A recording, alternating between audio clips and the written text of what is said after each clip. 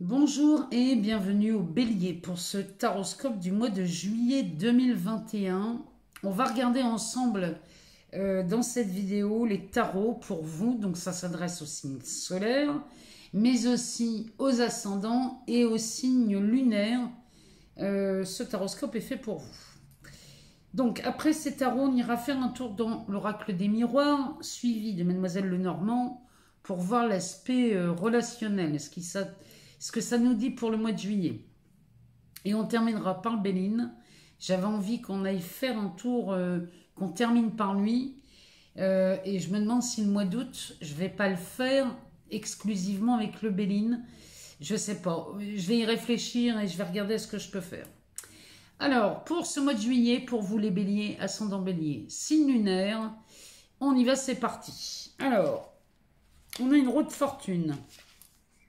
On a un cavalier de bâton et on a un 4 de coupe. Le dos de deck, c'est un cavalier d'épée qui est suivi d'un 8 de bâton, ce qui est vraiment pas mal euh, pour vous les béliers.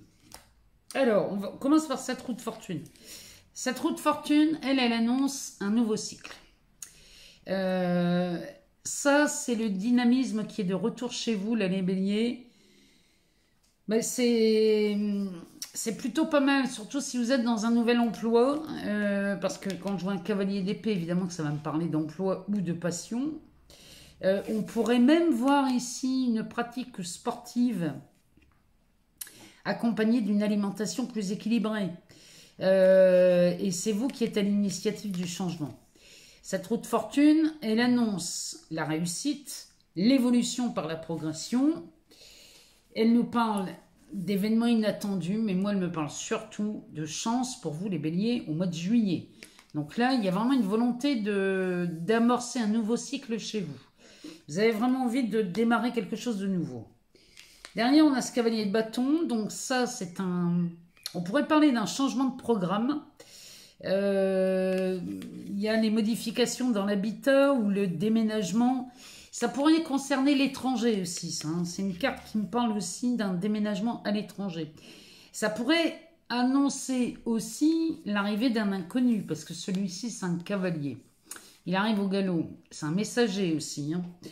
Donc, il pourrait nous annoncer ça, l'arrivée de quelqu'un d'inconnu dans votre entourage.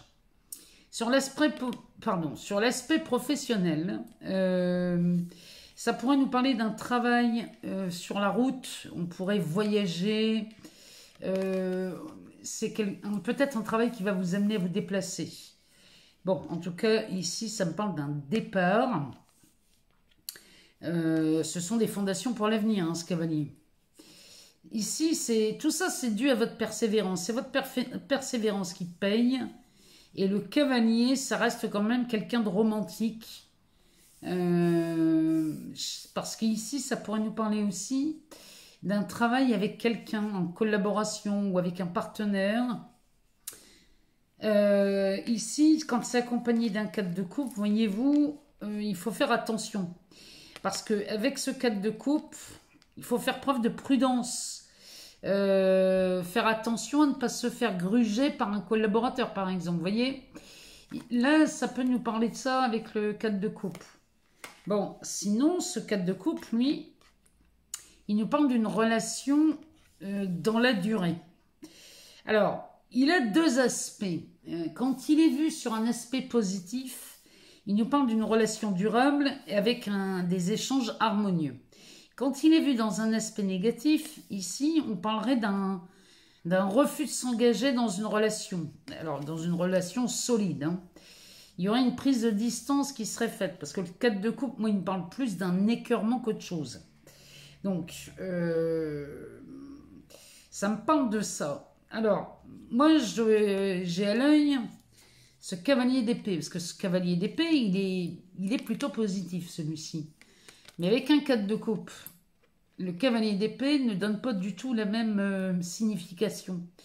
Ici, ça pourrait nous dire d'être prudent, de faire attention aux opérations financières très risquées, là, les béliers. N'allez pas risquer quelque chose euh, au mois de juillet. Si vous ne sentez pas une affaire, n'y allez pas. Moi, je vous le dis. Parce que l'association des deux, ça nous donne ça. Par contre, Quand on prend le cavalier seul, ça, c'est un défenseur puissant. Euh, c'est un, on pourrait le comparer à un soldat ou un tireur d'élite euh, très expert. Enfin, c'est un expert en lui. Hein. Alors, il annonce la réussite, ce cavalier d'épée. Il est là pour vous aider vraiment, véritablement, ce cavalier d'épée, parce qu'il a une rapidité d'action, et en plus qui est confirmé derrière avec ce 8 de bâton. Donc euh, là, c'est très rapide.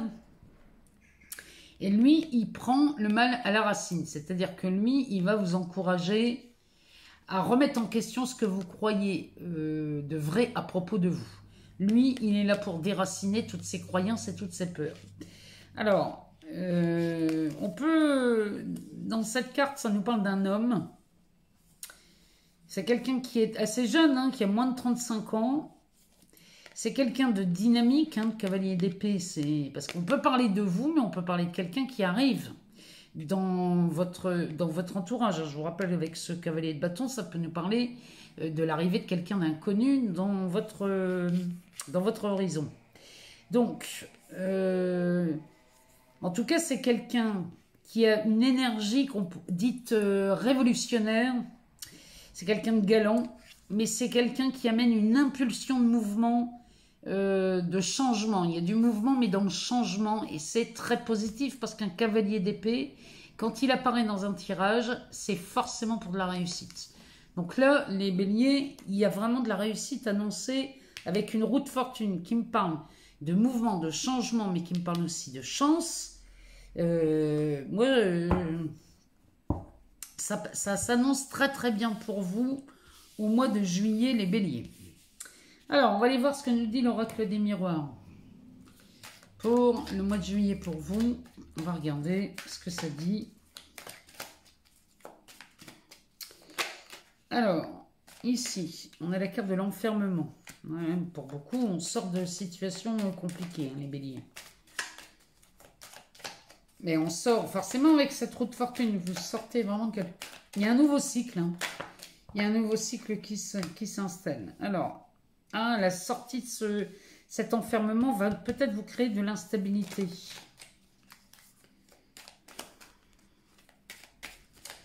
Alors, on va aller en rechercher quelques-unes. On aller chercher si elles viennent pas. Nous parle du temps. L'ouverture.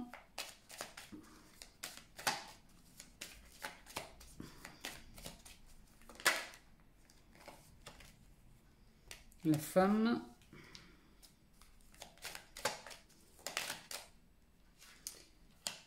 Le compromis. On va aller en chercher une dernière.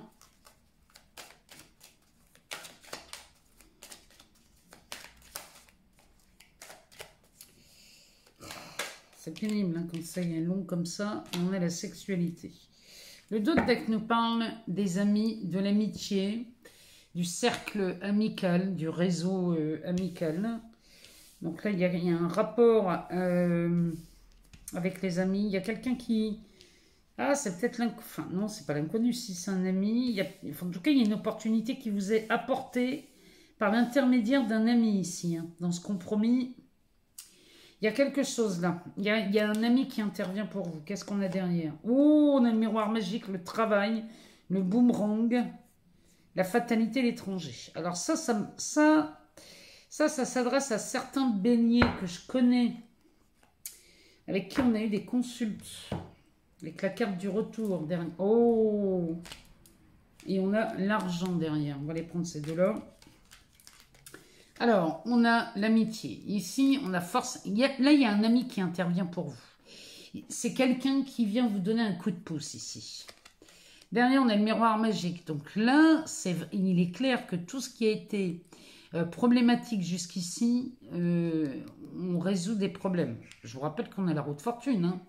Il y a un nouveau cycle qui s'amorce chez vous et vous pourriez être aidé par euh, un coup de pouce là d'un ami. Dernier, on parle du travail. Donc là, à mon avis, les béliers, si vous étiez dans l'attente d'une réponse, ici, les choses bougent et dans votre sens. Hein.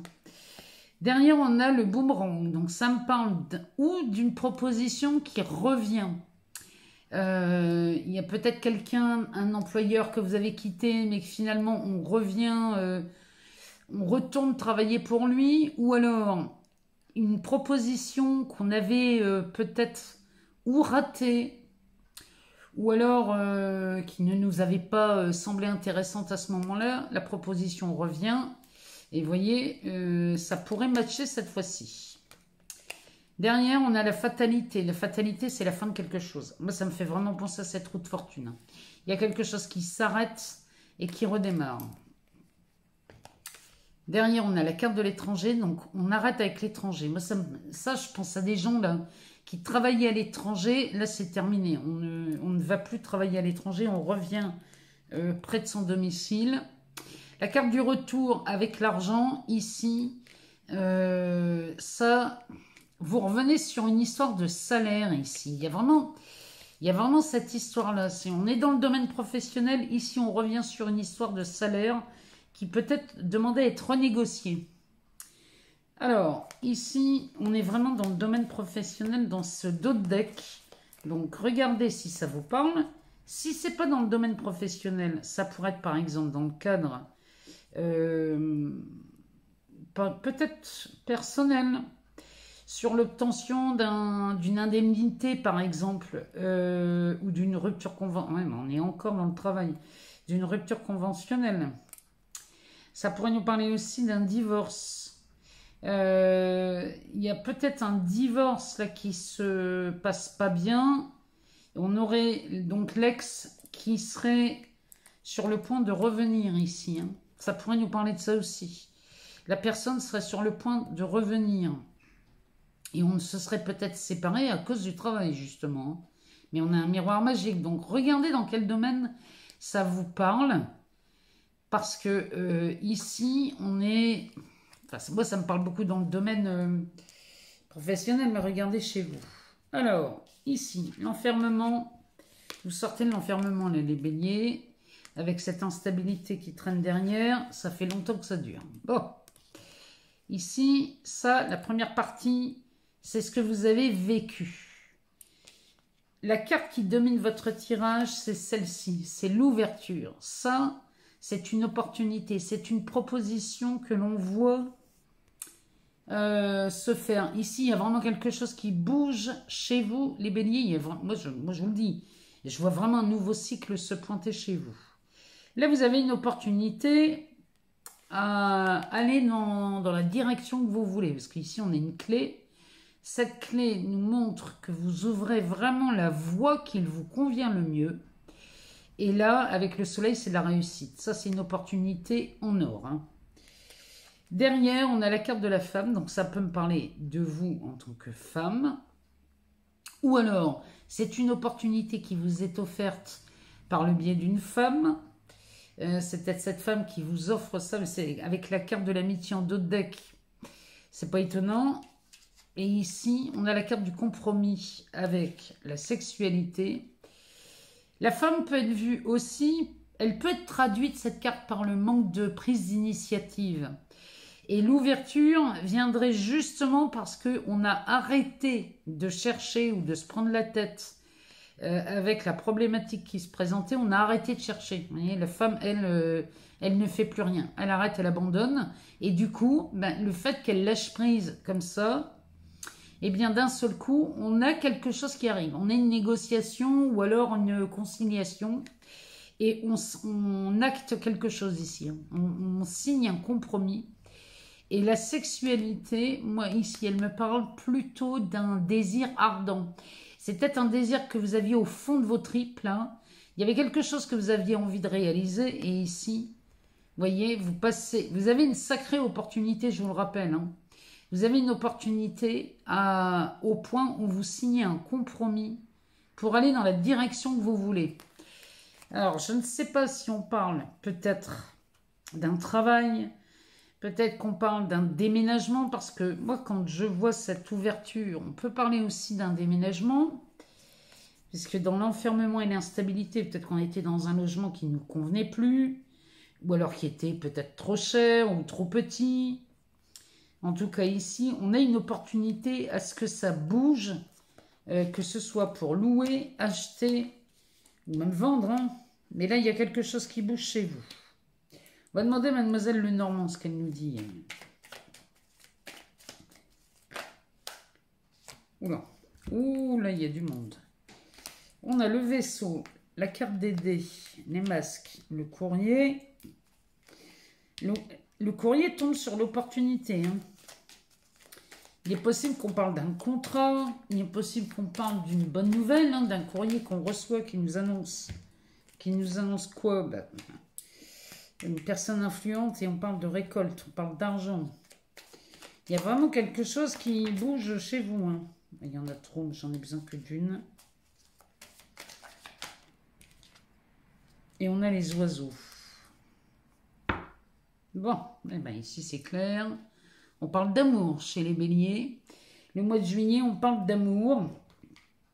Alors, ici, mademoiselle Lenormand, vous, voyez, sur la carte de l'enfermement, moi j'ai le vaisseau. Le vaisseau, lui, euh, il passe au-dessus de, cette chaîne de montagne.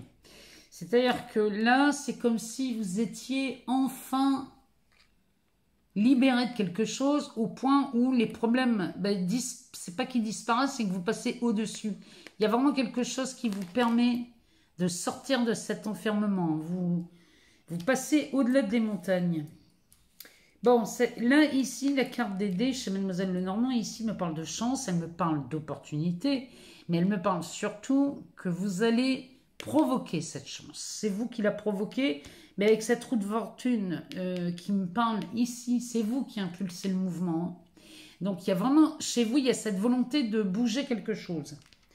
Derrière, on a les masques. Alors, les masques ici, vous risquez, vous, avez, vous voulez bien oser euh, provoquer votre, votre chance, mais chez vous, il y a quand même une certaine peur hein, là, qui, qui est présente, hein, vous en avez peur, mais vous y allez. Même si vous avez peur, vous y allez, vous partez vers le changement et vous avez raison parce que derrière, on a cette lettre avec les fleurs de lys, la récolte et les oiseaux.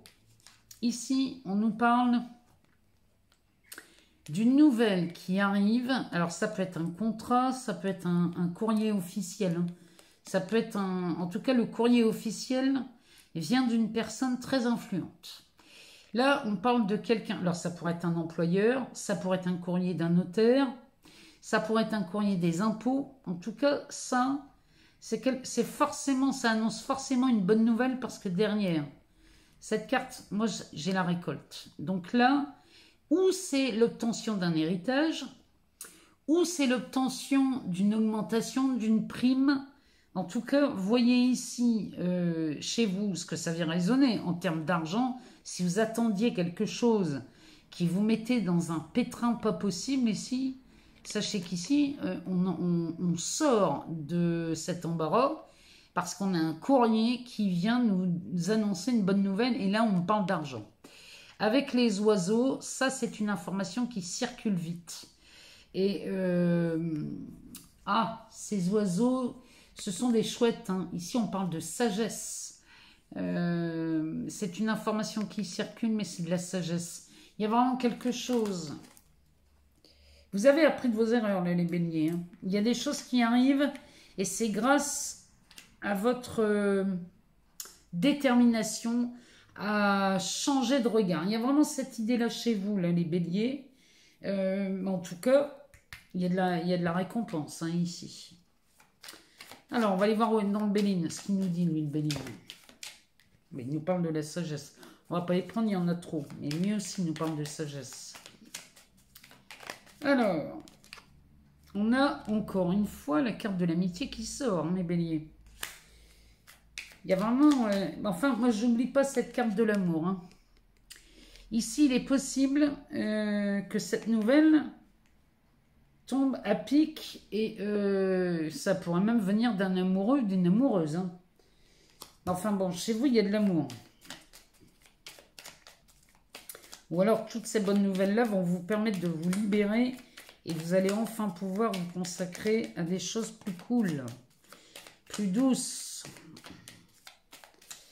Alors, on va aller voir de quoi il nous parle avec l'amitié et le Béline.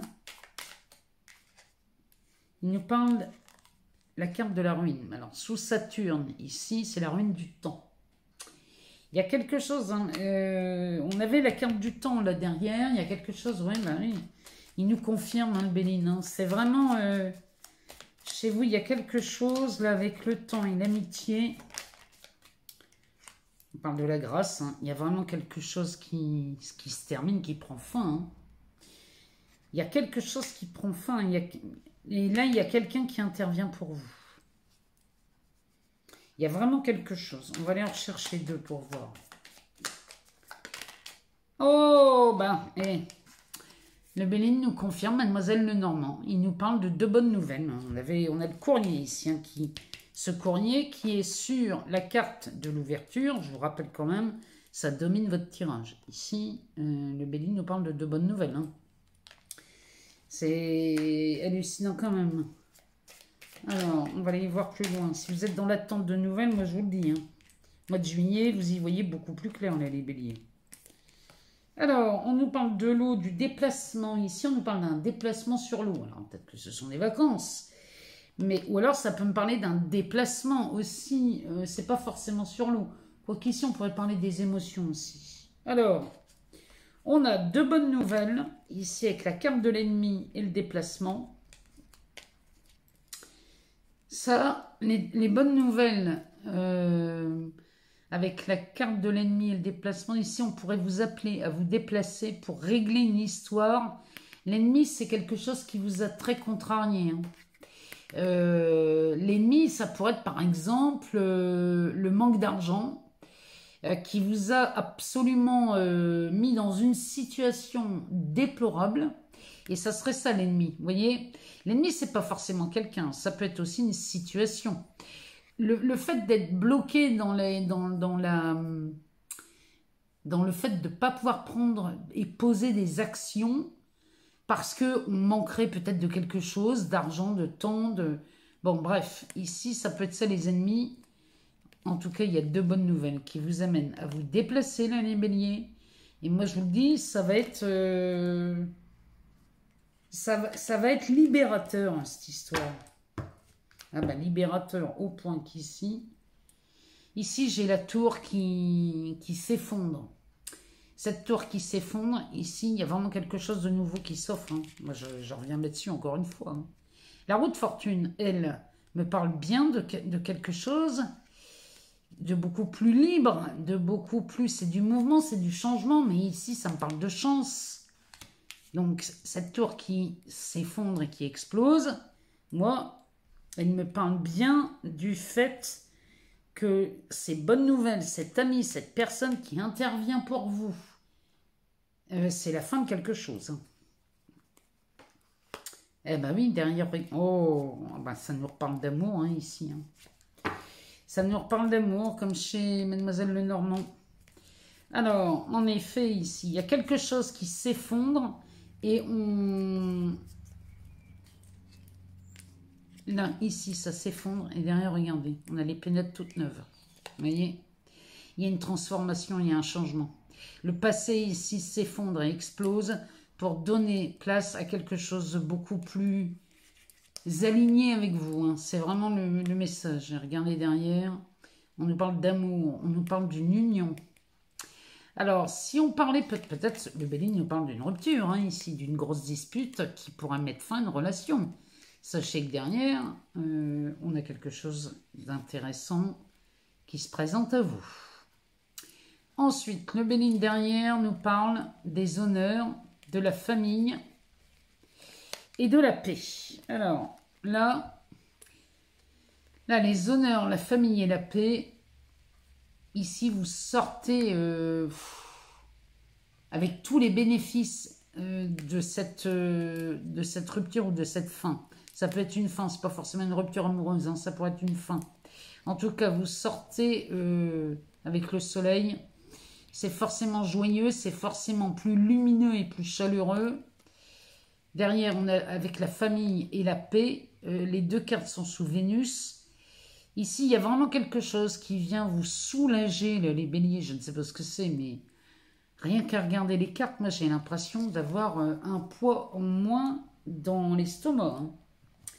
En tout cas, les béliers, ce mois-ci, le mois de juillet est un mois de changement, c'est un mois de transformation.